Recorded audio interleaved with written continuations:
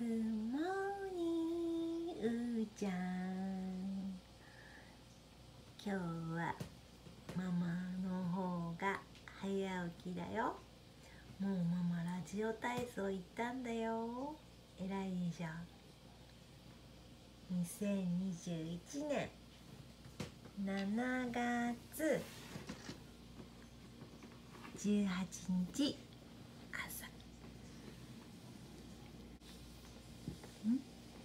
皆さんに今日も暑いけど無理しないでねって。楽しく一日過ごそうねって。言って。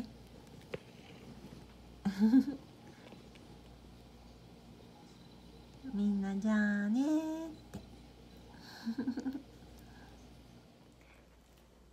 こんばんは。アラフィフ YouTuber まゆさりでございます。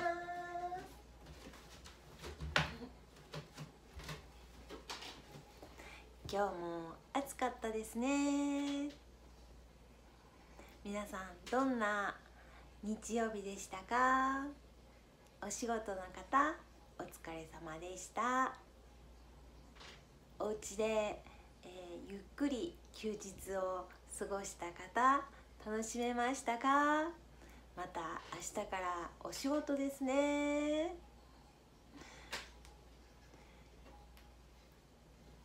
ちょっとジュース飲みます。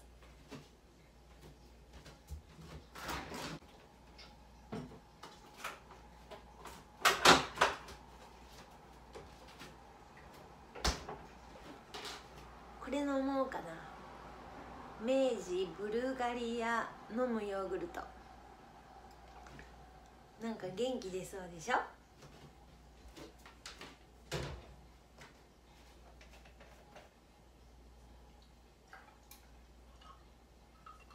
あーなんかすごい入れすぎちゃったタンタタラランラランラランラランタラランラランラランラランララン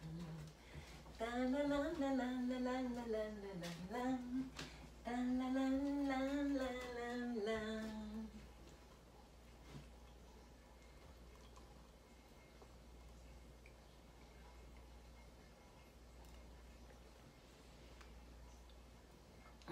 おいしい今日はですねこの歌聞いたことありますか？木杉隆夫さんの曲でね「あなただけグッナイト」「あなただけグナイト」聞いたことありますか？歌詞がすごくなんか良くて私はこの歌がなんか、うん、いいなって思って。ちょっとだけ、えー、聞いてくださいますか？歌詞がいいの。タタタタタタタタタタタン。タラランラランラランラララタラララランラランラランラランランはい何回も失敗してんの聞いててねお願い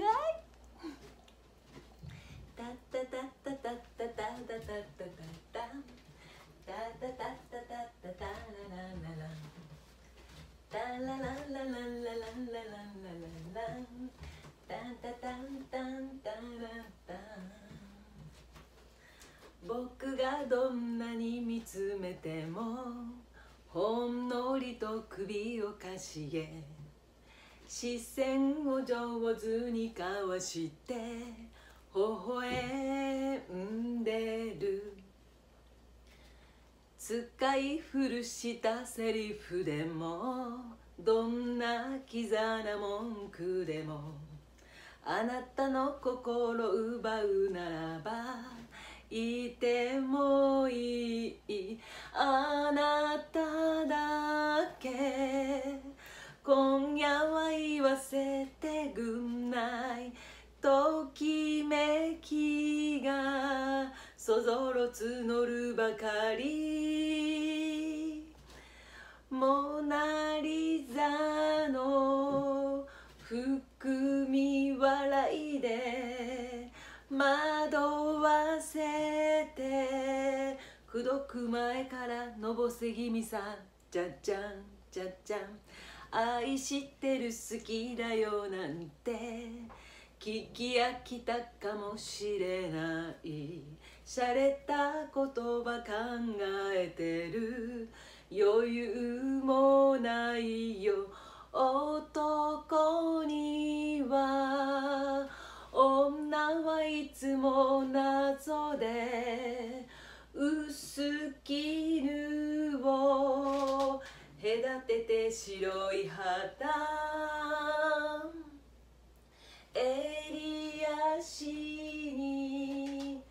見とれたままでうっとりと口説く前からのぼせ気味さじゃじゃんじゃじゃん。これね木杉隆夫さんの曲なんですけどなんかねピアノとかやっぱりねギターとか入ってたらすごくおしゃれなんだけどな。私が歌うとなんかそんなにいい歌に聞こえないね。ごめんね。でもなんかこの歌詞がとても好きです。今日は、えー、歌わさせていただきました。ちょっと座ってトークしたいと思います。ヘタッピーな歌を聴いていただきありがとうございます。はいそれではトークの時間です。あと少しだけお付き合いください。もうなんか、えー、さよならだなってあと何分かでさよならだなって思ったら寂しくなってきました。すごく会いたかったです。えっ、ー、とですねと昨日今日続けて 朝、え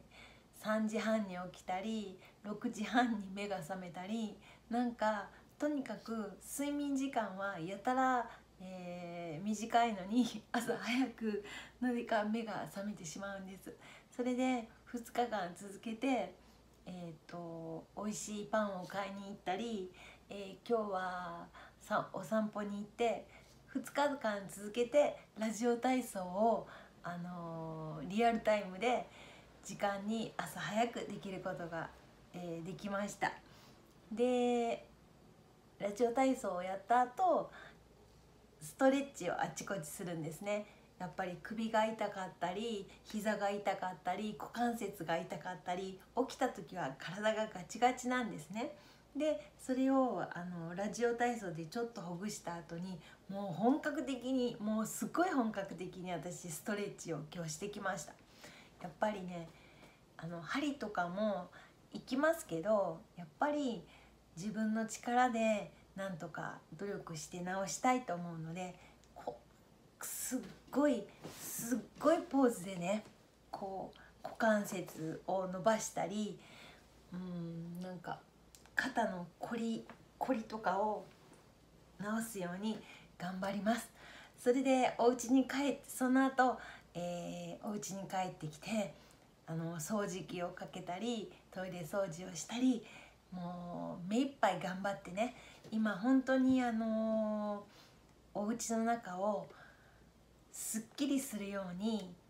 前もちょっと動画で言ったんですけど一日一捨てなんかいらないものを探してあの着ない古くなった洋服とか何でも捨てるようにしてすっきり毎日暮らすようにその方が心も体もすっきりすると思って今そういう捨てるあと掃除するということをすごく心がけています。いつか少しマシになったお家でねルームルームツアーっていうんですか？お家の中を映したりするようなのもできるように今、えー、努力しています。うんとそうそうそうそれでやったやって掃除とかやった後ものすごくあの お風呂に入った後すっごく眠くなりまして思いっきり2時間半ぐらい今日は昼寝をしましたでそれから体がだるくてねなんかやっぱり暑さのせいでしょうか？だるさがね取れないんですよね。それであのー、だるくてだるくて。でなんか元気にならないかなと思って今今夜の9時ぐらいですけどずっと皆さんに会いたい会いたいって思っててやっと今会うことができました。とですねえー、すぐ時間経っちゃうね、えー、それでうんと昨日は早く寝たかったのになんか全裸監督っていうのを、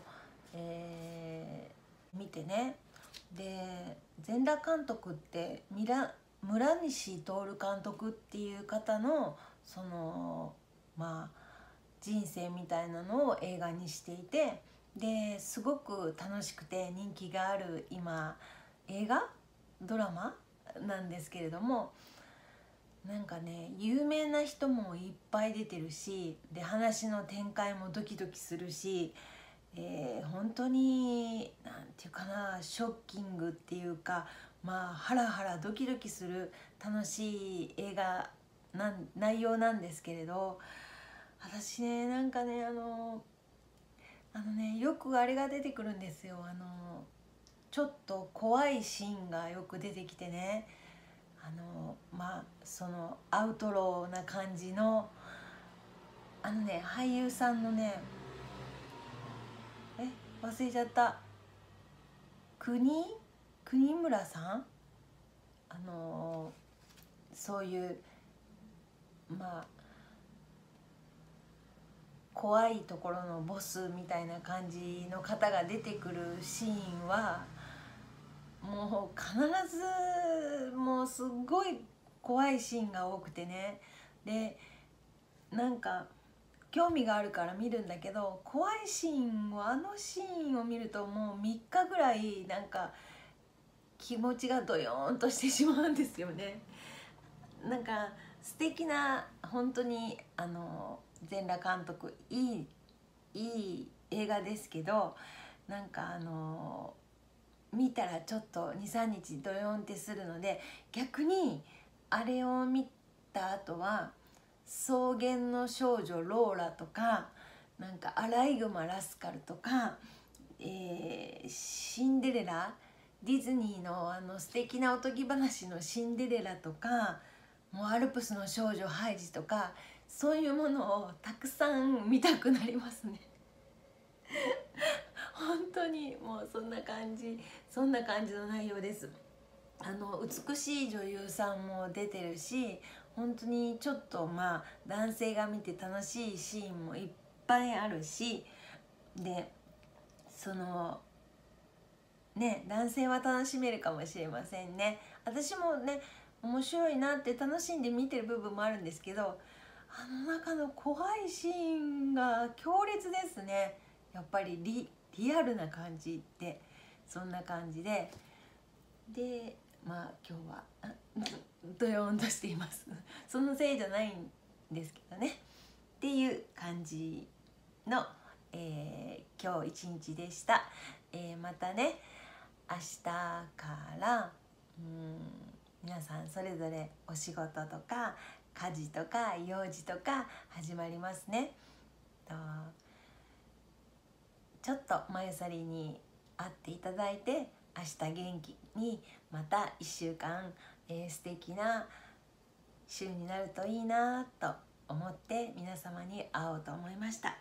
それでは、えー、また来週も皆様あの暑い中無理しないでくださいねそれからいつもいつもいつももうほんと嬉しいんですけど「まゆさりちゃんあの元気ですか?」ってなんか言っていただいて本当にあの嬉しいです優しいコメントありがとうございますそれではあの登録をなさって、えー、いない方登録チャンネル登録よろしくお願いします。それから、えーこんな拙い動画ですけれどもいいねと思われた方、えー高評価いいねボタンよろしくお願いします。本当にあのー重複になりますが皆様あのー本当に暑いので無理をなさらないで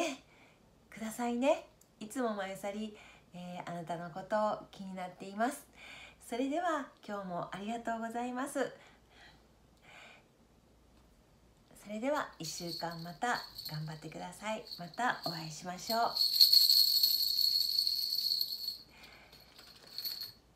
愛してる。またね。たくさん寝てね。夢で会いましょう。Good night